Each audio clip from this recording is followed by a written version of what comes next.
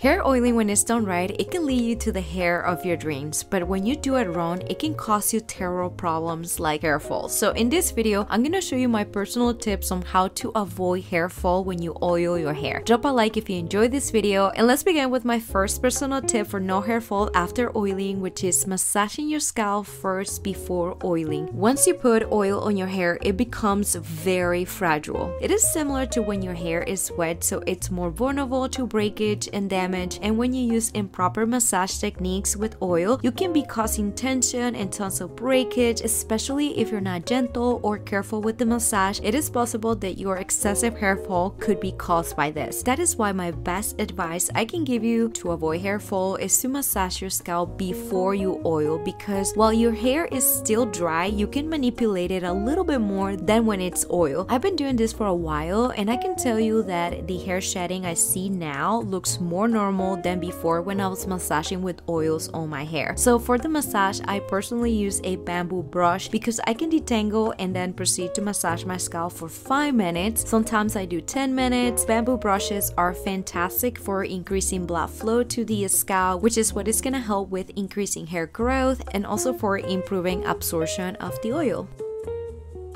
Another personal tip for no hair fall after oiling is to avoid applying oil when you have dandruff. Oiling the scalp when you already have dandruff is actually a bad idea because the yeast that causes dandruff feeds from the excess oils and the dead skin you already have. So when you apply oil on top of the infected scalp will only promote the growth and the spread of more fungus, which can cause more inflammation on the skin and lead you to increase of hair fall. Dandruff doesn't directly cause hair fall but the itchiness and the irritation on your scalp can lead to unnecessary hair fall. So instead of using oils to treat dandruff, what you can do is to use hair rinses with rosemary, cloves, peppermint, lavender. These herbs are not only antifungal and anti-inflammatory, they are great for hair growth and to be honest, whenever I use them for this purpose, I personally feel so much relief from my dandruff. Also, I noticed that I don't experience dandruff too often compared to when I used to use oil oils to treat my dandruff, this problem will come back faster.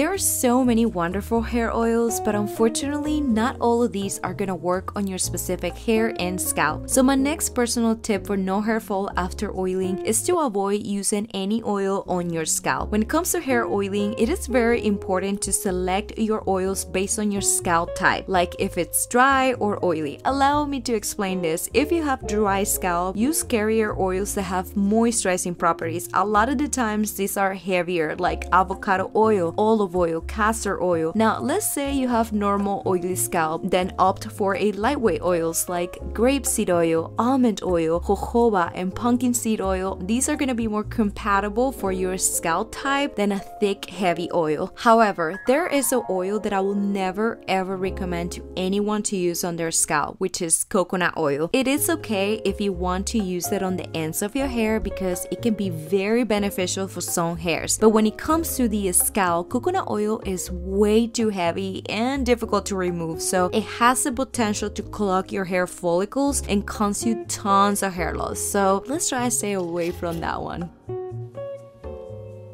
I am pretty sure I have said this hair oiling mistake before, but it doesn't hurt to remind you that using too much oil can do more harm than good on your hair. The thing about applying excess oil on your scalp is that it can drown your hair follicles, and if this happens, it will cause you intense hair fall. You want your hair and scalp to be saturated but not soaked so that the skin is able to absorb, and when it's time to wash it off, you are able to do it with no problem. So, a way I keep track of how much oil I use on my hair is to always start with one tablespoon of my favorite mixed oils and work my way up if I need to. But honestly, for me, one tablespoon is more than enough to cover my whole scalp and it hasn't caused me any problems.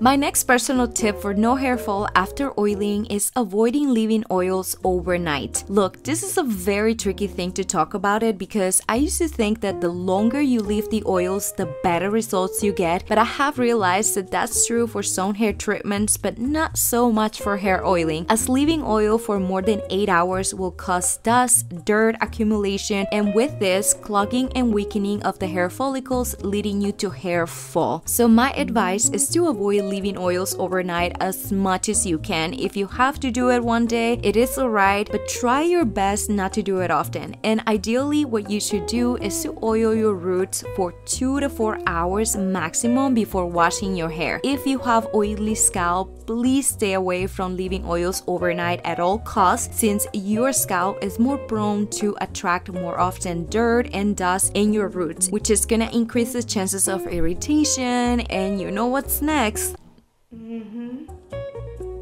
So after we massage and apply the oil treatment, it is important to handle your hair and scalp gently because at this point it is at its most fragile stage and we don't want to break it or damage it. So my next personal tip for no hair fall is to avoid tight hairstyles after oiling. Once you are done with your hair oil treatment, your hair cuticles open up, your scalp is relaxed so everything becomes more vulnerable and this increases the chances for your hair to fall out if you tie your hair too tight or comb it in this state. So what you can do instead of using tight hairstyles is to use loose hairstyles. Like you can do a low ponytail or a loose braid, anything that doesn't put tons of pressure on your roots, it is good. I personally prefer to cover my hair with a microfiber towel or a shower cap just to be extra careful. It is more comfortable as well. Plus when you cover your hair, this captures the heat coming from your scalp, boosting the absorption of the oil And also, if you think about it, this protects my scalp from attracting dirt and dust while I wait since it is covered and protected.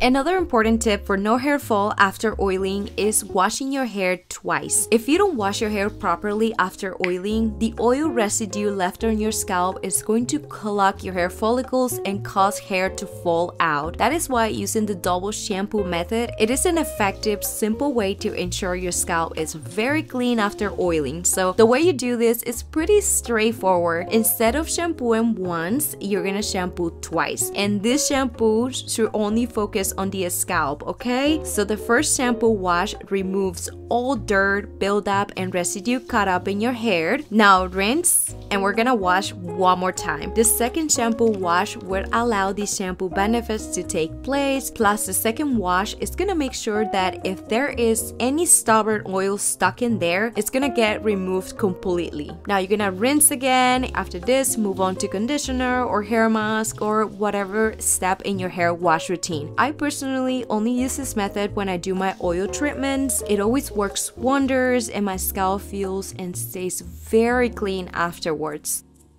My next personal tip for no hair fall after oiling is to avoid oiling your hair too often. If you want to maximize your hair oiling results, something that it took me time to realize is that breaks are necessary. What I mean with this is that you need to allow your scalp to breathe, to have some breaks from oil treatments from time to time. Yes, oiling once a week is more than enough to nourish your scalp with good nutrients, improve hair growth, and to get your hair into a healthy state. But but if you are constantly oiling your hair too often, all you're gonna do is to clog your hair follicles with oil, plus you're gonna be drying out your hair because you need to wash it all the times. And at the end, all you're gonna accomplish with oil treatments is more breakage than growth. So finding a balance is extremely important to have success with oils. I personally think oiling twice a week is the limit for me, and definitely oiling more than three times a week is a total mistake that it will definitely lead you to hair problems like hair fall. I understand how frustrated it is to see a lot of hair shedding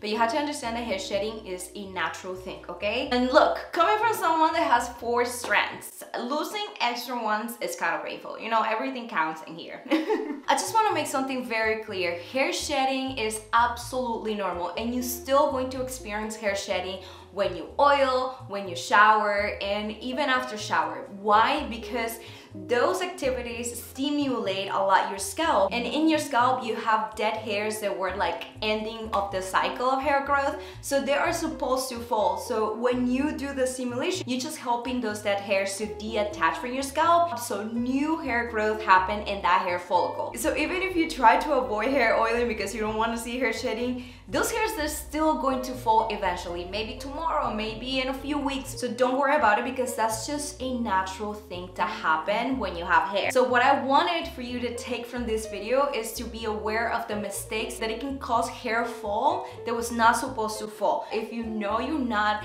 making these mistakes then most likely the hair shedding you have is just natural and it was supposed to happen girl okay? So don't worry about it. I love you guys. I hope you enjoy like this video. And if you did don't forget to share some love to me by subscribing to this channel right here Thank you so much for watching and I hope I'll get to see you in the next video. Pura vida!